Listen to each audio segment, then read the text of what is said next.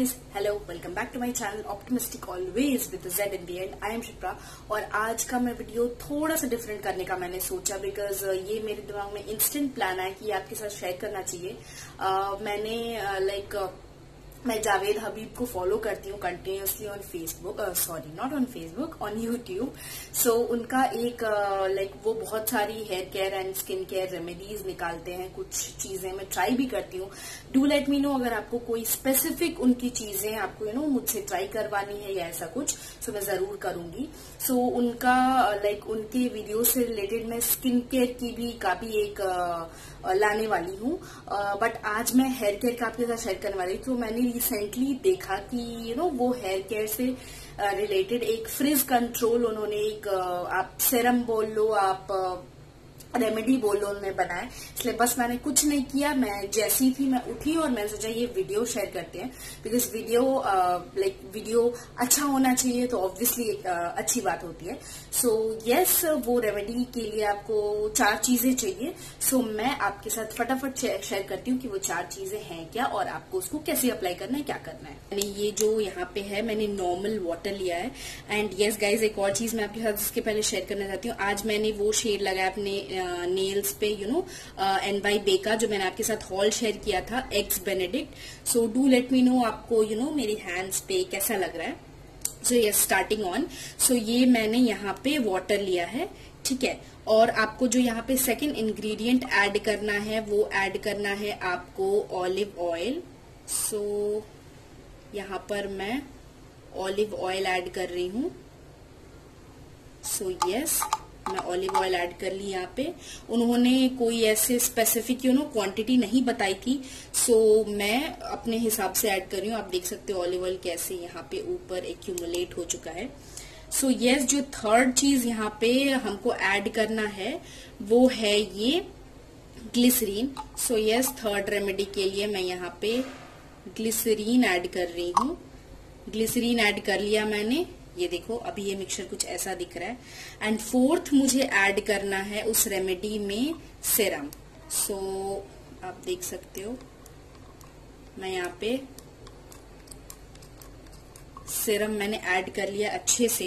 सो so, उन्होंने सब कुछ you you know know, Javed Habib का ही यूज़ करने को बोला। बट uh, मैं यहाँ पे नॉर्मल कर रही हूँ बिकॉज़ uh, uh, सब अलग अलग ब्रांड यूज़ करते हैं। सो इट्स पॉसिबल कि अगर एक रेमेडी यू नो काम अगर करती है तो इट्स पॉसिबल कि आप कोई भी ब्रांड की चीज़ें यूज़ करो अनलेस वो बहुत खराब ब्रांड ना हो बहुत ही अनरेप्यूटेड ब्रांड ना हो तो वो ज़रूर काम करेगी अगर वो रेमेडी यू नो अच्छी है। सो so, इसको मैं प्रॉपरली इस तरीके से शेक कर लूँगी। सो so, आप देख सकते हो ये शेक हो चुका है। ये देखो। सो so, ये रेमेडी रेडी है। अब मैं आपको बताती हूँ कि इसको अप्लाई कैसे करना है आपको अपने ये है वो रेमेडी और आई डोंट नो बट आप देख सकते हो, एक चीज़ की ये ऊपर में बार बार ऑयल एक्यूमुलेट हो जा रहा है, शायद ऐसा ही होता हो। तो हम इसको यूज़ करने से पहले आई प्रेफर कि अगर आप यू नो बना के मैंने बस इसको 30 सेकंड्स के लिए रेस्ट किया और ये ऊपर की साइड एक्यूमुलेट होके जा रहा है। सो आप जब भी यूज़ करो, इस तरीके से शेक करके फिर यूज़ करो। और उन्होंने बोला तो है पूरे हेयर में लगाने को बट उन्होंने स्पेसिफिकली फ्रिज वाले जगह पे यू नो लाइक ध्यान देने को बोला है which is this area this part this part so yes definitely हम इस पार्ट पे ज़्यादा ध्यान देंगे रूट्स पे थोड़ा कम ध्यान देंगे. सो so, यस yes, मैं इसको अप्लाई करना स्टार्ट करती हूँ.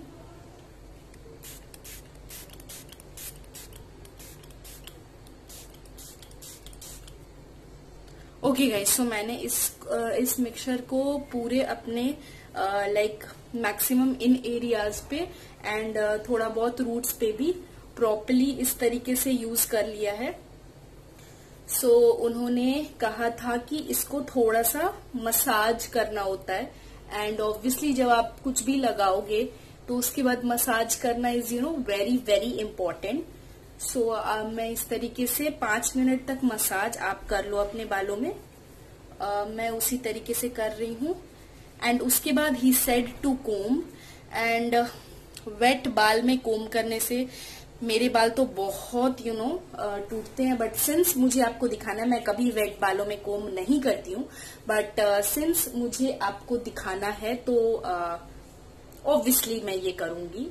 So I let's carefully comb my hair and हमेशा मैंने आपको बताया है कि आपको नीचे से कोम करना है कभी भी ऊपर से आपको कोम नहीं करना है।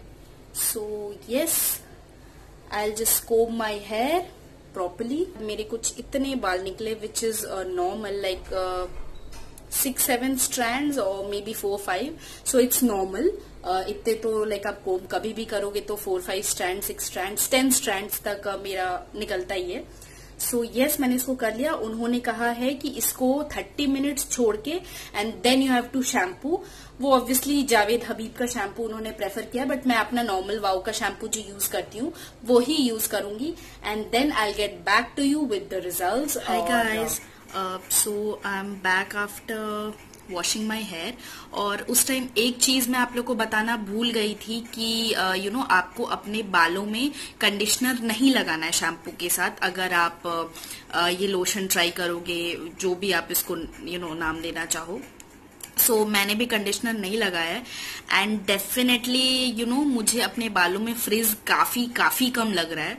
सो आई गेस हाँ लॉन्ग टर्म में आप इसको यूज़ करोगे तो डेफिनेटली इट विल वर्क मुझे ऐसा लगता है।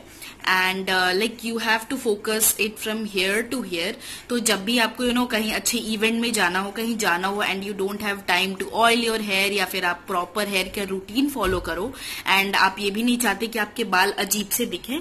So in that case you can use this दो सेकेंड लगेंगे इसको यू you नो know, बनाना है शेक करना है and then you have to apply it बीस मिनट रखो तीस मिनट रखो चालीस मिनट रखो। Uh, इसी अराउंड रखो and then wash it off आपको कंडीशनर भी नहीं लगाना सो so बेसिकली आपको हाफ़ टाइम लगेगा. So I I really really like it so मुझे ये काफ़ी अच्छा लगा एंड मैं एक हेयर केयर भी जावेद हबीब सर का लेके आने वाली हूँ. So yes stay tune for that and please बताओ कि मेरी नेल पेंट कैसी लग रही है? मुझे काफ़ी अच्छी लग रही है एंड काफ़ी यूनिक कलर लग रहा है मुझे. So yes please tell me and yes अब मैं चलती हूँ। And yes guys bye take care